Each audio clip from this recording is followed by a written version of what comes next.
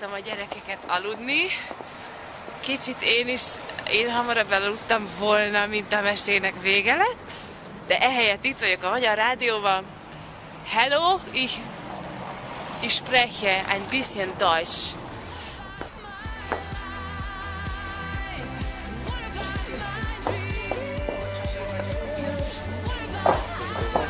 Igen,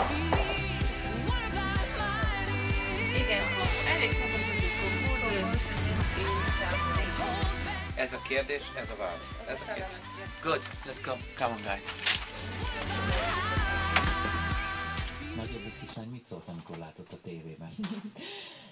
Hát neki ez először nem volt különleges, mert hát anya tévében is van, meg otthon itt is van, hát most mi a különbség. Inkább az volt neki egy áttörés, amikor az óvodás társak elkezdték nem Janka anyukájának hívni őt, hanem a Wolf Kati.